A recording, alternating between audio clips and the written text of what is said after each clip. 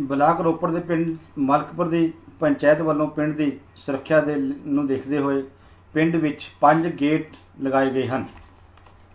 ਜਿਵੇਂ ਸ਼ਹਿਰਾਂ ਦੇ ਵਿੱਚ, ਪ੍ਰਾਈਵੇਟ ਕਲੋਨੀਆਂ ਦੇ ਵਿੱਚ ਹੁੰਦੇ ਹਨ। ਇਸ ਦੀ ਜਾਣਕਾਰੀ ਪਿੰਡ ਦੇ ਸਰਪੰਚ ਕੁਲਵਿੰਦਰ ਕੌਰ ਵੱਲੋਂ ਦਿੱਤੀ ਗਈ।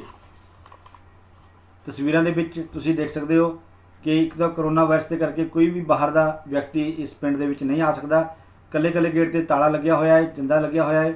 ਤੇ ਸਰਪੰਚ ਦਾ ਜਿਹੜਾ ਬਿਲਕੁਲ ਇਜਾਜ਼ਤ ਤੋਂ ਬਗੈਰ ਪਿੰਡ ਦੇ ਵਿੱਚ ਕੋਈ ਨਹੀਂ ਆਵੇਗਾ, ਇਸ ਨੂੰ ਕਰੋਨਾ ਨੂੰ ਦੇਖਦੇ ਹੋਏ ਤੇ ਸੁਰੱਖਿਆ ਨੂੰ ਦੇਖਦੇ ਹੋਏ, ਇਹ ਪਿੰਡ ਦਾ ਪਹਿਲਾ, ਜਿਹੜੇ ਮਲਕਪੁਰ ਦਾ ਪਹਿਲਾ ਜਿਹੜਾ ਪਿੰਡ ਹੈ ਇਸ ਬਲਾਕ ਦਾ, ਜਿਹਦੇ ਵਿੱਚ ਇਸ ਤਰ੍ਹਾਂ ਦੀ ਸੁਰੱਖਿਆ ਗੇਟ ਜਾਂ ਇਸ ਤਰ੍ਹਾਂ ਦੀ ਸੁਰੱਖਿਆ ਜਿਹੜੀ ਹੈ ਕੀਤੀ ਗਈ ਹੈ ਤੇ ਹਾਲੇ ਤੱਕ ਬਲਾਕ ਰੋਪੜ ਦੇ ਵਿੱਚ ਇਸ ਦੇ ਨਾਲ ਦਾ ਪਿੰਡ ਕੋਈ ਵੀ ਅੱਗੇ ਨਹੀਂ ਆਇਆ ਕਿ ਕੋਈ ਵੀ ਕਹਿਣ ਦਾ ਮਤਲਬ ਇਹ ਹੈ ਵੀ ਕੋਈ ਵੀ ਇਸ ਤੋਂ ਪਹਿਲਾਂ ਕੋਈ ਹੋਰ ਪਿੰਡ ਨਹੀਂ ਸੀਗਾ, ਇਹ ਰੋਪੜ ਜ਼ਿਲ੍ਹੇ ਦਾ ਪਹਿਲਾ ਪਿੰਡ ਹੈ ਜਿੱਥੇ ਸੁਰੱਖਿਆ ਦੇ ਖਾਸ ਧਿਆਨ ਰੱਖੇ ਗਏ ਹਨ।